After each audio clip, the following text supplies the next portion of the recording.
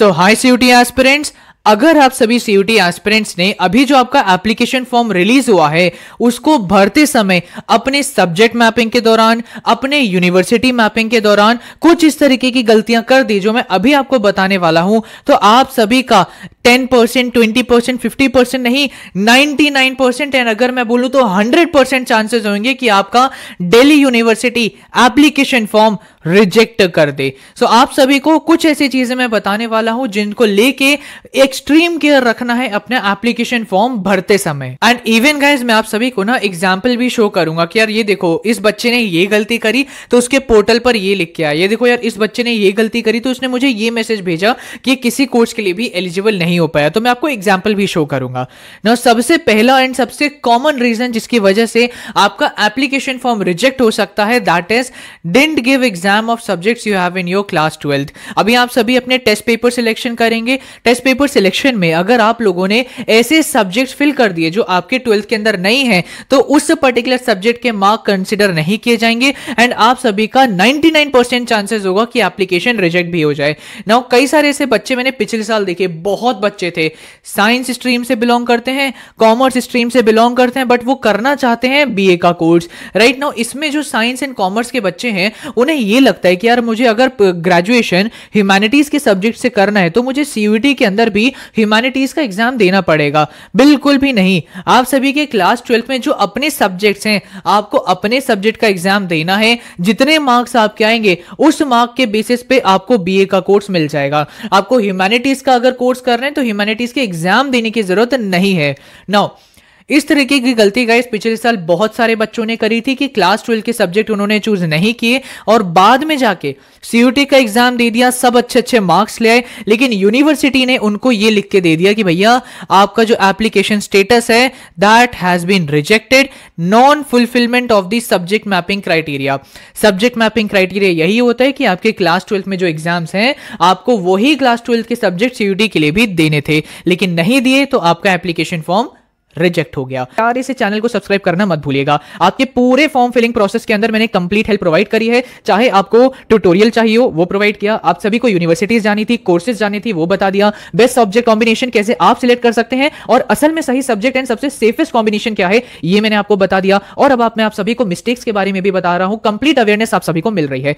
So please do don't forget to subscribe this channel बाकी आप सभी का सीयूटी सारथी तो हम हैं ही। आपको पीवाई की आगे ज़रूरत पड़ेगी। वो I provide you with answer देखो आंसर आप सभी को नहीं मिल पाते हैं सबसे बड़ी प्रॉब्लम होती है। हैंडबुक्स नहीं मिल पा रही, मेंटरशिप नहीं मिल पा रही सो ये सारी चीज़ें मैं आप सभी की सॉल्व करूँगा। ना उसके बाद now second cheese that is your wrong subject selection now जैसे कि मैंने आप सभी को बोला है कि आपको अपना जो सब्जेक्ट कॉम्बो है ना, ये बहुत अच्छी तरीके से फिल करना है। और जो आपका सब्जेक्ट कॉम्बो है, इससे रिलेटेड मैं ऑलरेडी डिटेल वीडियो बना चुका हूँ। मैंने आपको ये सिखाया है कि कैसे आप सभी खुद अपना बैठ के सब्जेक्ट सिलेक्शन कर सकते हैं। और मेरे ओपिनियन में, आपके लिए सबसे सेफेस्ट एंड सबसे बेस्टेस्ट कॉम्बो कौन सा है? आप ऊपर आई बटन पर क्लिक करके उसको ज़रूर देख सकते हैं। बहुत अच्छे से समझाया है। नाउ इस मेल को जरा आप सभी पढ़िए। इस मेल में ये जो बच्चा है, ये बोलता है कि भैया, मैंने दो सब्जेक्ट लिए, एक लैंग्वेज ले लिया। मेरा इतना स्कोर आया, लेकिन मुझे अपने पोर्टल पे हर एक कोर्स के लिए ये दिख रहा है that I am not eligible ये डीयू का बच्चा है राइट right? ये क्यों हुआ? क्योंकि उसने तो जो क्राइटेरिया एडमिशन पाने के लिए थे, कुछ पर्टिकुलर कोर्सेज में उसको तो फिल ही नहीं किया। अगर ये बच्चा बीए करना चाहता है बीए के लिए रिक्वायरमेंट है one language plus three domain अब यहाँ देखो इसने टू डोमेन दिए वन लैंग्वेज दिया बट एक डोमेन गायब है। तो ये एलिजिबल नहीं हुआ। इसी तरीके की गलती पिछले साल कई बच्चों ने करी थी अपना सब्जेक्ट सिलेक्शन करते समय। तो ये चीज़ आप सभी के साथ ना हो कि एट द एंड आप सभी को अपने पोर्टल पर देखने को मिले कि यार मैं तो किसी कोर्स के लिए भी एलिजिबल नहीं हूँ। ये बहुत ही शॉकिंग बात होती है, बहुत परेशान करने वाली बात होती है। मैं आपको एग्ज़ाम्पल भी शो कर रहा हूँ कि बच्चों ने इस तरीके से मुझे मेल करी थी पिछले साल। तो इस चीज़ को याद रखिएगा। नाउ थर्ड चीज़ जो कई बच्चों को देखने को मिलती है, जिसकी वजह से उनका एप्लीकेशन फॉर्म रिजेक्ट हो जाता है that is submitting wrong caste certificate बहुत बार मैं आप सभी को बता चुका हूँ, अपनी कैटेगरी वाइज डॉक्यूमेंट के अंदर भी कि आपको ओनली एंड ओनली सेंट्रल अपना जो कास्ट सर्टिफिकेट है, उसको सबमिट करना है। अगर आप सभी स्टेट का कास्ट सर्टिफिकेट सबमिट कर देंगे तो आपका वो कास्ट सर्टिफिकेट एक्सेप्ट नहीं किया जाएगा। आपका जो सेंट्रल कास्ट सर्टिफिकेट का फॉर्मेट है, कुछ इस तरीके से दिखता है और इसी फॉर्मेट में आपका भी कास्ट सर्टिफिकेट बना होना चाहिए। सो so प्लीज़ आपका जो कास्ट सर्टिफिकेट है, ये मैं बोल रहा हूँ S C S T OBC and EW के बच्चों को सही कास्ट सर्टिफिकेट ही सबमिट करिएगा। ना इसके बाद आता है हमारा fourth reason and that is basically discrepancy in documents ऐसा बहुत सारे स्टूडेंट्स के साथ देखने को मिलता है कि यार उन्होंने आधार कार्ड सबमिट किया कास्ट सर्टिफिकेट दिया, अपना टेंथ की मार्कशीट दी, अपनी ट्वेल्थ की मार्कशीट दी। इसमें किसी ना किसी एक डॉक्यूमेंट में नेम्स के अंदर इशू है। किसी किसी के फादर के नेम में एक एक्स्ट्रा स्पेलिंग जुड़ी हुई है। किसी की मदर के नेम में एक एक्स्ट्रा स्पेलिंग जुड़ी हुई है। कोई सरनेम में इशू है। इस तरीके के जो इश्यूज़ होते हैं ना, ये सब आप सभी का जब यूनिवर्सिटी वेरिफिकेशन होता है, वहाँ पर पंगा क्रिएट कर देता है। ना ज़्यादातर जो कॉलेजेस होते हैं मोस्टली कॉलेजेस आपको बोलते हैं, एक और चांस देते हैं। वन मोर चांस आपको मिलता है कि आप हमें सही डॉक्यूमेंट जो है, इतने समय के अंदर अंदर भेज दीजिए। अगर आप सभी नहीं भेज पाते हैं तो आपका एप्लीकेशन रिजेक्ट होता है। बट अगर आप लोगों के डॉक्यूमेंट्स में, खासकर names and date of birth में कोई इशू दिखता है तो आपके लिए क्वेरी रेज हो जाती है।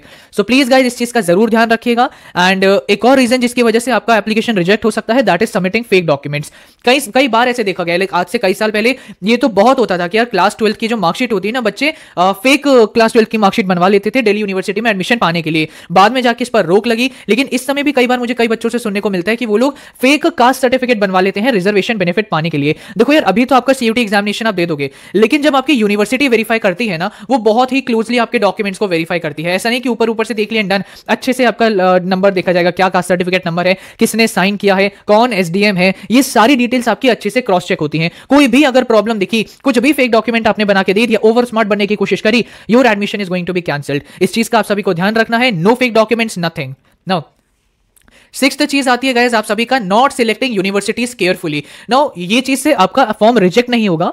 इस वजह से आप कई यूनिवर्सिटीज के लिए एलिजिबल ही नहीं हो पाओगे। ना आप सभी अगर ना एनटीए का इन्फॉर्मेशन बुलेटिन पढ़ें, उसमें ये चीज़ क्लियरली मेंशन है कि यार, अगर कोई बच्चा सीयूटी एप्लीकेशन फॉर्म भरते समय किसी यूनिवर्सिटी को फिल करना भूल जाए बट बाद में भी वो बच्चा उस यूनिवर्सिटी के एडमिशन में पार्टिसिपेट कर सकता है। लेकिन पिछले साल क्या देखने को मिला? दो यूनिवर्सिटीज दो बहुत ही बड़ी यूनिवर्सिटीज जिसका नाम है बीएचयू एंड अलाहाबाद यूनिवर्सिटी इन दोनों यूनिवर्सिटीज ने ऐसे बच्चों को एडमिशन में पार्टिसिपेट ही नहीं करने दिया, जिन बच्चों ने अपने application CUET application form fill कर करते समय बीएचयू का नाम नहीं भरा एंड एयू का नाम नहीं भरा। तो प्लीज़ इस समय पर जब आप अपना यूनिवर्सिटी सिलेक्शन करोगे सीयूटी एप्लीकेशन फॉर्म भरते समय तो जितनी भी यूनिवर्सिटीज में आप एडमिशन लेना चाहते हैं, एक ही बार में भर दीजिएगा। कोई भी गलती हुई तो कुछ यूनिवर्सिटीज आपके लिए पंगा क्रिएट कर देती है। ना इसके बाद जो है, ये जो आपका पॉइंट है ना, ये मैं आपको अभी एडवांस में बता दे रहा हूँ। ये अभी नहीं होगा। जब आप सभी का यूनिवर्सिटी का काउंसलिंग पोर्टल चालू हो जाएगा कि यार अब आप एडमिशन आपका चालू करते हैं, आपका यूनिवर्सिटी के द्वारा फॉर्म रिलीज़ होगा तो उस समय बहुत सारे बच्चों का एप्लीकेशन रिजेक्ट हो जाता है इस रीजन की वजह से। ना होता क्या है ना कि यार आपका जो यूनिवर्सिटी है, कई सारे ऐसे कॉलेजेस होते हैं यूनिवर्सिटी के अंदर, बहुत लीनियंट होते हैं, कई होते हैं जो बहुत स्ट्रिक्ट होते हैं। जो कॉलेजेस आपके स्ट्रिक्ट होते हैं, वो आउटराइट आपको रिजेक्ट कर देते हैं, लेकिन कई होते हैं जो लीनियंट होते हैं, अगर कोई भी डॉक्यूमेंट में प्रॉब्लम दिखी, अगर कहीं पर भी दिक्कत दिखी तो आपको मौका दिया जाएगा क्वेरी रेस करके क्वेरी रेस करके कि भैया, आप मुझे ये डॉक्यूमेंट इतने से इतने दिनों के अंदर प्रोवाइड कर दीजिए। अगर आप सभी ने स्टिप्यूलेटेड टाइम के अंदर वो डॉक्यूमेंट नहीं प्रोवाइड किया, उनकी क्वेरी को आंसर नहीं किया तो आपका एप्लीकेशन रिजेक्ट हो जाता है। पिछले साल ये चीज़ कई सारे बच्चों के साथ मुझे देखने को मिली थी। सो so, ये सारे रीजन थे जिसकी वजह से आपकी जो यूनिवर्सिटी है आपका एप्लीकेशन फॉर्म रिजेक्ट कर सकती है। मेरा आपसे रिक्वेस्ट होगा प्लीज़ जो मैंने गलतियाँ बताई उनको ध्यान से देख लेना वापस से रिव्यू कर लेना कि कोई इस तरीके की आप गलतियाँ ना कर रहे हो। प्लीज़ गाइज़ इस चैनल को सब्सक्राइब करना मत भूलिएगा। इस तरीके की बहुत सारी इन्फॉर्मेशनल वीडियोज़ मैं आप सभी के लिए ला रहा हूँ। बेस्ट सब्जेक्ट कॉम्बिनेशन की डिटेल वीडियो आपको मिल गई है यूनिवर्सिटी से रिलेटेड और भी कई चीज़ें आपको जानने को मिलेगी। सो so, आपकी हर एक ज़रूरत को मैं पूरा कर रहा हूँ। बस एक रिक्वेस्ट मेरी आपसे रहेगी कि हमारी में मेहनत को थोड़ा अप्रिशिएट करिए। चैनल को सब्सक्राइब करना मत भूलिएगा। मिलते हैं अपनी अगली वीडियो में। तब तक के लिए all the very best test